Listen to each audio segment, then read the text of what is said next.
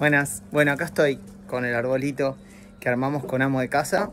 Eh, les voy a mostrar, miren cómo baila un poco en la punta. Eso es porque me faltó ponerle eh, presión cuando llené por ahí arriba con sustrato. Eh, por eso hicimos hincapié en el reel en que presionen bien cuando van completando con, con sustrato, en la punta sobre todo. En cuanto al riego, la verdad es que la mayoría de los gajos, o si no todos los gajos, no tienen raíz, entonces al principio no hay que regar.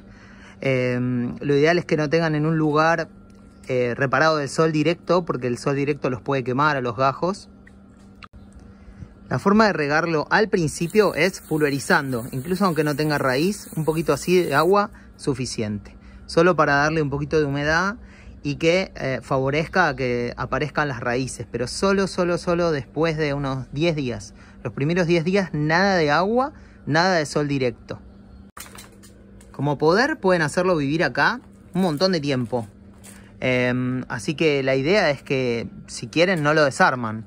Em, en un par de semanas vamos a hacer un video para desarmarlo.